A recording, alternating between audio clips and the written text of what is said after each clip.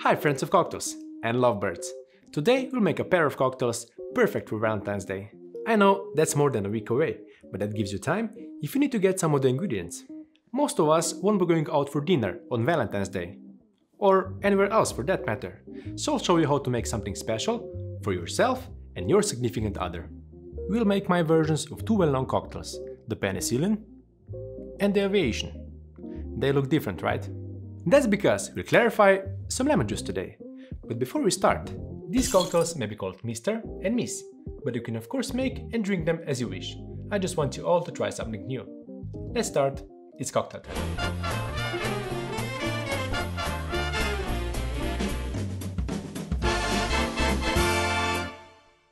I first made these cocktails as a part of a Valentine's Day menu at the bar I worked at. You still remember that, right? Bars, work, good times. But what good are cocktails if nobody can drink them? So I'll show you how to make them at home. For Mr. Cocktail, you'll need Scotch whiskey. I'm using Chivas Regal Extra, since it's an extra special occasion.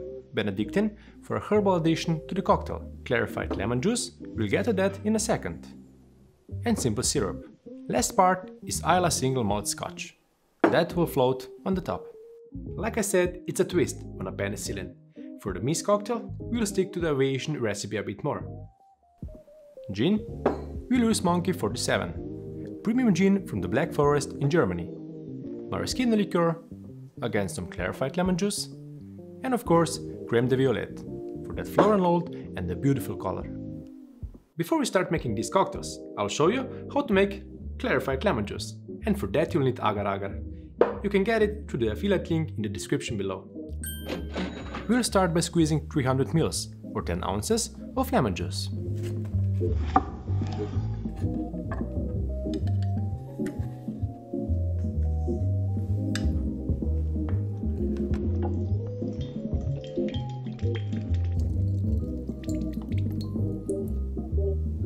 Use whatever technique you prefer, but I find this to be quite fast. Squeezing it like this also expresses the essential oils from the pills.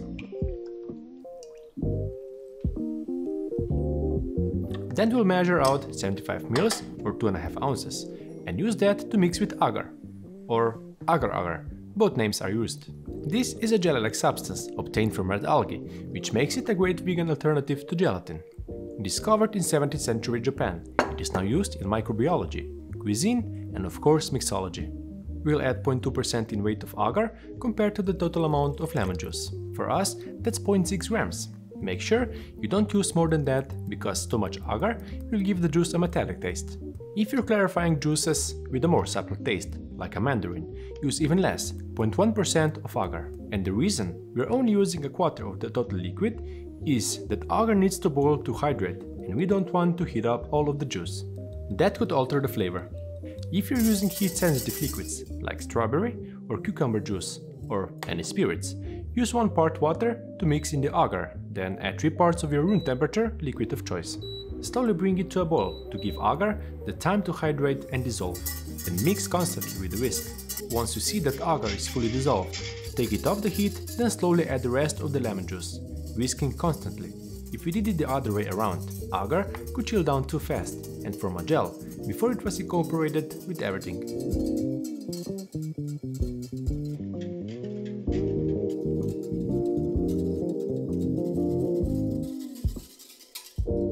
Transfer the mixture to a bowl and place it in an ice bath or a freezer to form a soft gel. That will happen in about an hour or two.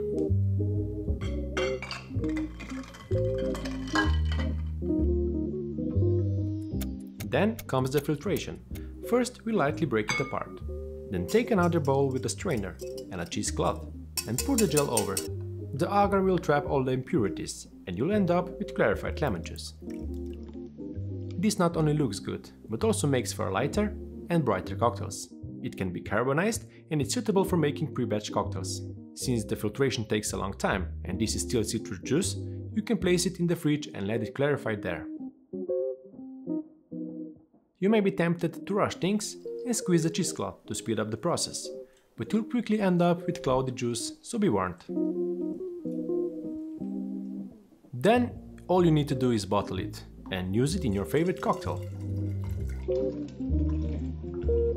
And unlike milk washing, where you mix the cocktail first and then make it clear with the help of milk curdles, using clarified citrus juice doesn't change the texture or soften the cocktail.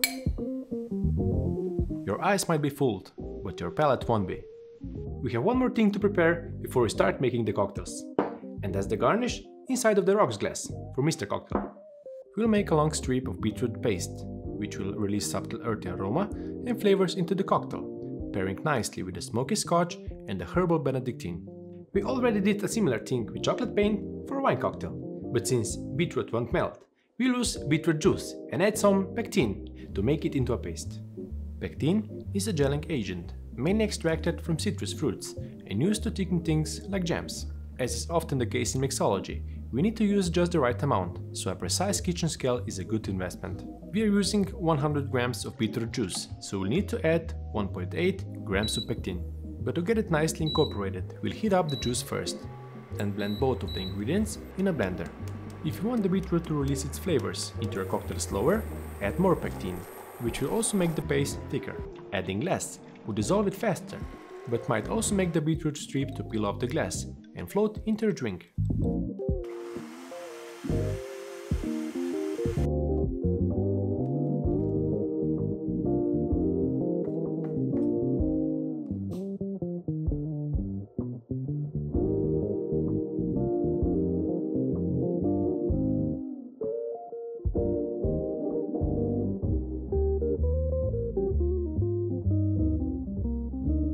Filtering the mixture through a cheesecloth will catch any solid particles if you're using a freshly juiced beetroot, but it will also keep back all of the foam from the blending. We really don't want the foam when brushing the beetroot into the glass. Before you place this filter mixture in the fridge, transfer it to a small jar, which you'll be able to shake up before applying to the glass. Again, if you're in a rush, just place it in an ice bath. While that was chilling, we also placed a rocks glass in the freezer. This will ensure that the beetroot paste will stick to it when applied. The key is that you brush a thick strip from the bottom to the top of the glass. The more you apply, the more earthy notes your cocktail will develop as it dissolves into the drink. After your work of art is done, place it back in the freezer until the cocktail is ready. With that done, we can finally start making the cocktails. And if making both, you want to start with Miss cocktail, since we'll serve it up and it won't dilute in the glass. Oh, and we'll be throwing both of cocktails.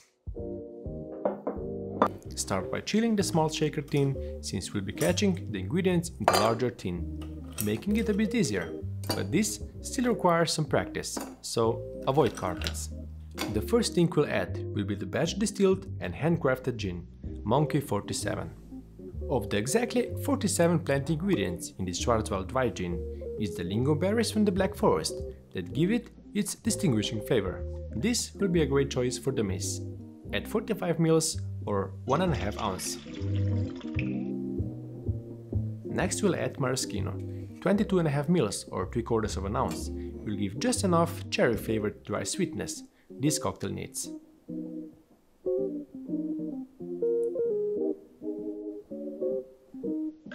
Then comes our special ingredient, clarified lemon juice.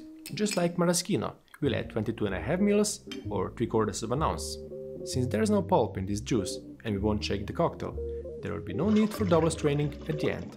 The refreshing balance of this gin sour cocktail will be enriched by the final ingredient. Since this one has a really strong floral taste and an intense color, 2 bar spoons will be enough. Since we're using clarified lemon juice, there is no need to shake the cocktail, which would agitate the ingredients, making them cloudy.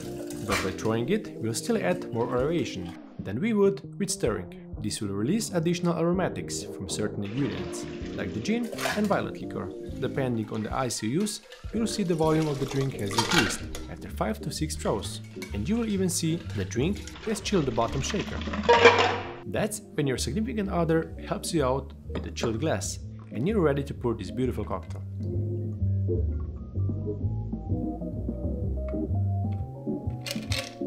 Garnish it with a pansy-flower and set it aside while you make the Mister cocktail.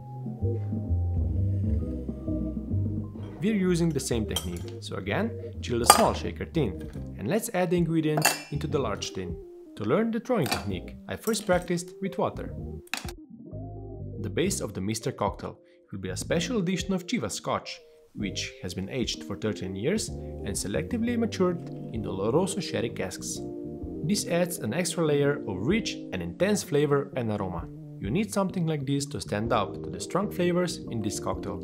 So add 45 ml or 1.5 ounce. Instead of the honey ginger syrup of the penicillin cocktail, we'll add 15 ml or half an ounce of Benedictine. This honey sweetened herbal liqueur will make our version even better. But to balance the cocktail, we'll need to add some more sweetness. One bar spoon of simple syrup will be perfect.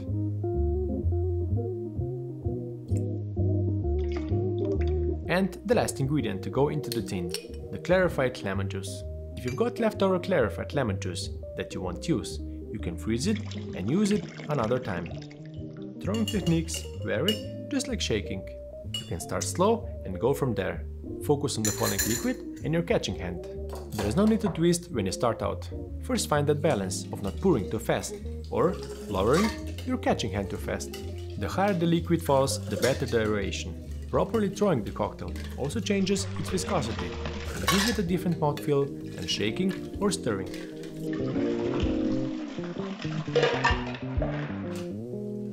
Before we pour this into our garnish glass, we'll add a large clear ice cube, being careful not to touch the beetroot paint.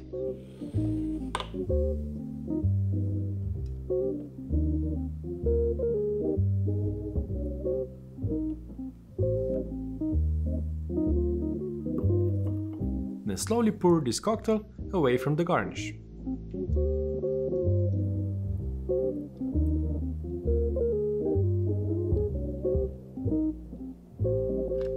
Already looks great, but let's finish it with a bar spoon of peated scotch as a float.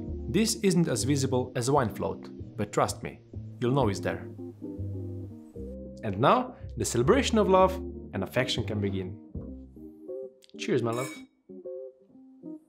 The smoky and fresh aroma are very upfront, with subtle herbal notes coming through as well. On the taste, the smokiness is followed by the pleasantly fruity and full-bodied Chivas Extra Scotch. And while this looks like a spirit-forward, old-fashioned like cocktail, your palate will be pleasantly surprised by the balance of sour, herbal and sweet components in the background. All of this is enriched by the light texture we got from throwing. As you'll sip this drink, the earthy notes from the beetroot will add another dimension to this really interesting cocktail. So take your time and enjoy it. Or share it, that's nice too. Ooh, a note. Oh, check down in the comments below what she wrote and let me know if you're planning something special for Valentine's Day. And now, let's try the miss. Since this is basically a stylish aviation, the floral notes are still the star of the show. The botanicals from Monkey 47 were great with the violet liqueur, and even though looks can be deceiving, our palate is rewarded with a delicious sour cocktail.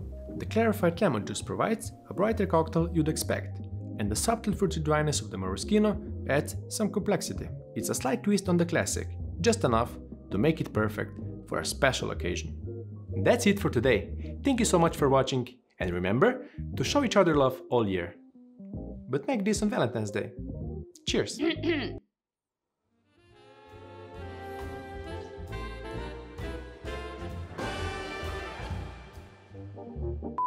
That's because we'll clarify some lemon juice today. But before we start,